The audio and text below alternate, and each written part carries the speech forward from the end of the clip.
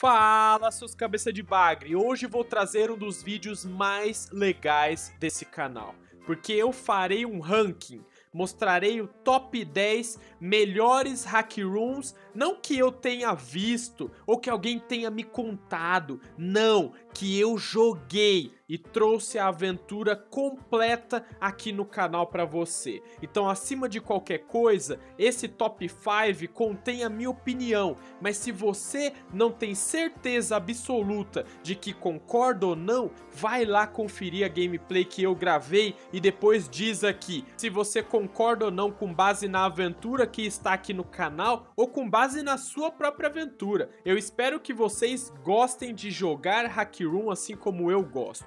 Mas antes da gente começar o vídeo, parei aquela mendigação de sempre. Deixa o like aí, mesmo se for por dó, às vezes vocês esquecem do like, já deixa o like agora, não perde tempo. Se você quiser, aqui embaixo tem o link para todas as outras redes sociais. Será um prazer recebê-los vocês por lá e interagir com vocês. Também peço que se inscreva nesse canal ativando o sininho porque ajuda muito assim você recebe informação em tempo real toda vez que um vídeo novo é lançado.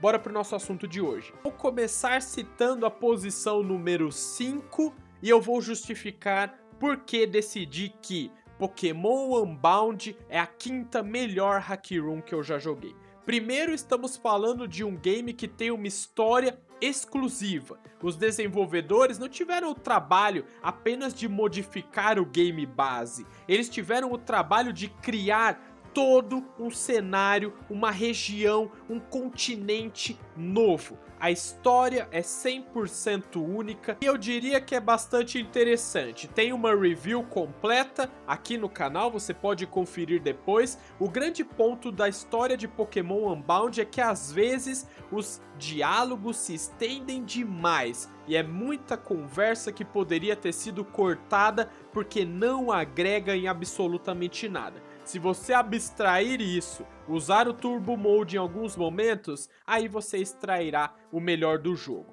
Um ponto negativo é, Pokémon Unbound não está traduzido para o português. Mas o ponto positivo é, eu gravei a aventura completa aqui no canal, você pode conferir, vai jogando junto comigo que eu ajudarei você a zerar. Fora isso, Pokémon Unbound conta com todos os Pokémons de todas as gerações disponíveis para você capturar. Então é um bom game para você se desafiar a completar a Pokédex. Eu, particularmente, nem me arrisquei a fazer isso, apesar de ter capturado uns 3, 4 box de Pokémons.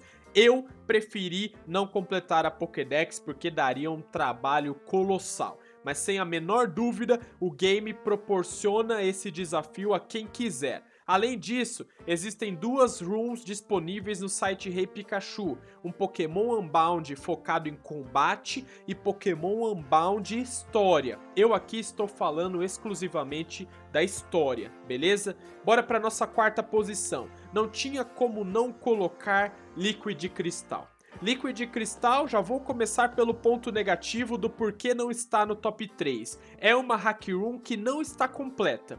Você vai passar por todo o continente de Joto, por todo o continente de Canto e depois vai para as Ilhas Laranjas. Mas você visita apenas três ilhas, você não visita o arquipélago inteiro porque o game não está finalizado. De qualquer maneira, aquilo que ele entrega é muito bem entregue. O game tem gráficos, mecânica, jogabilidade, muito parecida com Fire Red, então estamos bem adaptados, mas aqui temos diversas gerações de diversos continentes misturando uma grande quantidade de pokémons para você treinar e colocar na sua equipe. Fora que estamos falando da história magnífica do Pokémon Cristal, um dos meus favoritos. Diferentemente de Pokémon Unbound, Liquid Cristal não tem uma história exclusiva. A história é tal qual do Pokémon Cristal. Você vai passar por Joto, depois você vai passar por Canto,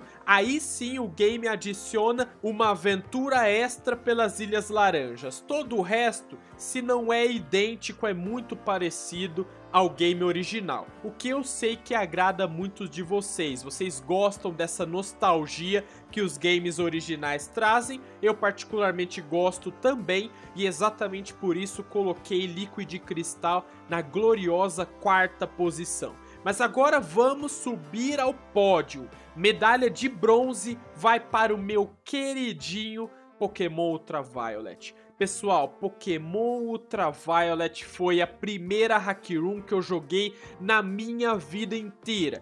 Eu estava simplesmente procurando Fire Red normal para jogar, nostalgia, legal, massa. Me encontrei com Pokémon Ultraviolet, baixei sem esperar nada e logo no começo já tem uma surpresa colossal. Você não precisa escolher um Pokémon inicial. Simplesmente você diz eu não quero Squirtle, Bulbasauro nem Charmander, o professor Carvalho te leva para um outro lugar onde você pode tentar pegar um Dratini, um Gastly, um Larvitar ou como no meu caso, um Pichu. Então nessa Hack Room Ultraviolet a gente tá falando da história principal tal qual Fire Red Leaf Green com alguns extras. Você tem novos lugares para explorar, novos lendários para tentar capturar e toda a terceira geração também incluída absolutamente todos os pokémons entre primeira, segunda e terceira geração são capturáveis no game.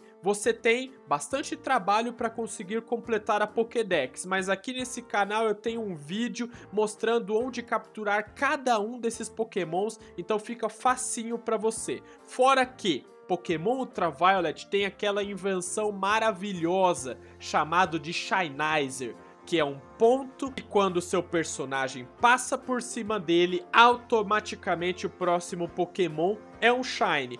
Pode ser o próximo Pokémon de algum outro treinador, pode ser um Pokémon que vai nascer num ovo, ou pode ser um Pokémon selvagem. Então você terá a oportunidade de capturar diversos Pokémons Shine que, convenhamos, são muito divertidos. Fora que existe uma tática muito interessante para você capturar lendários na sua versão Shine. Eu também explico isso em vários vídeos aqui nesse canal. Pokémon Ultraviolet, sem a menor dúvida, é uma das hack rooms mais divertidas que tem por aí e exatamente por isso recebeu aqui nesse canal a medalha de bronze. A medalha de prata vai para nada mais e nada menos do que Pokémon Ash Gray. Aqui, confesso, nostalgia pulsando forte. Ash Gray é uma hack room feita para você seguir os passos de Ash Ketchum durante os eventos da Liga Índigo,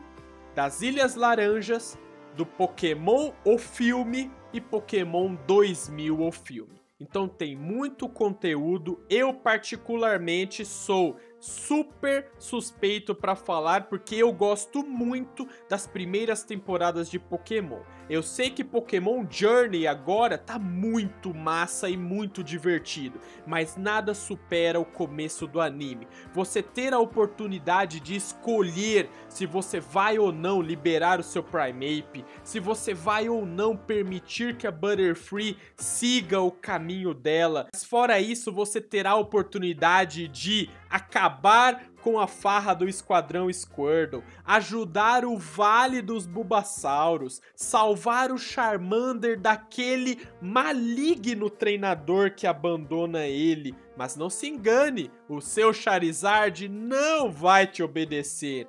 Essa Hack Room é tal qual o anime e é muito divertido. Você vai perceber que em vários momentos durante a minha aventura eu tomei exatamente as mesmas decisões que o Ash tomou e quando ele tomou eu critiquei. Então agora eu não critico nunca mais o Ash, respeito total, abraço inclusive. Na primeira posição, medalha de ouro vai para uma Hack Room que eu me diverti absolutamente. Tantos cortes quanto a gameplay principal aqui no canal foi um tremendo sucesso. Estou falando de Pokémon Fire Red Rocket Edition. Rocket Edition coloca você para controlar um membro da equipe Rocket. Então, no final das contas, estamos falando exatamente da mesma história do Pokémon Fire Red original, mas agora sendo mostrada numa perspectiva completamente diferente. Você vai perceber que o Professor Carvalho não é exatamente quem ele diz que é.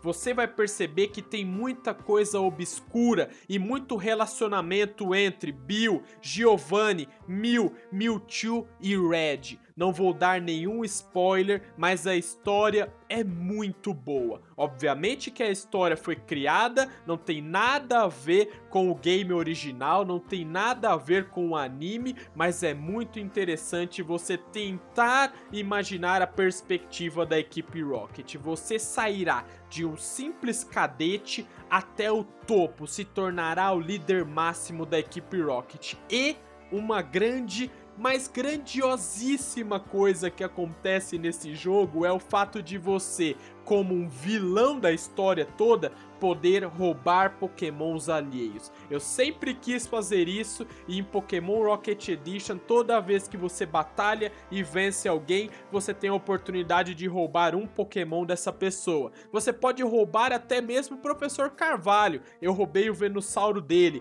roubei o Gengar da Agatha. Eu peguei pra mim o Dragonite do Lance. Você consegue imaginar o Lance sem o Dragonite? Pois é, jogando Rocket Edition, você passará exatamente por isso. Pessoal, essas são as 5 hack rooms que eu mais gostei de jogar até agora e todas essas aventuras estão aqui no canal organizadas em playlist, você pode assistir inteiro de cabo a rabo e eu tenho certeza que você gostará muito e conto com a visualização de vocês porque ajuda bastante. Se alguma nova hack room for testada por mim e se ela for melhor do que essas 5 que eu acabei de citar, eu volto aqui no um novo vídeo fazendo um novo top 5. Por enquanto, essas são as melhores que eu joguei e zerei, portanto recomendo para vocês.